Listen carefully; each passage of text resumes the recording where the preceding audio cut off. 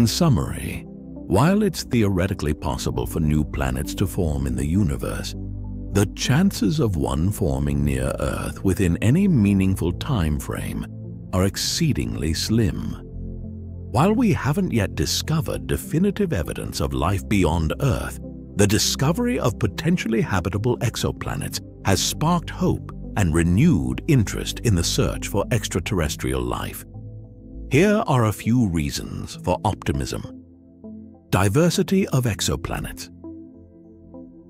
We've discovered thousands of exoplanets with a wide range of sizes, compositions, and orbits. Some of these exoplanets are rocky, similar to Earth, while others are gas giants or ice worlds. The sheer diversity of exoplanets increases the likelihood of finding one that might harbor life. Habitable zone discoveries. Astronomers have identified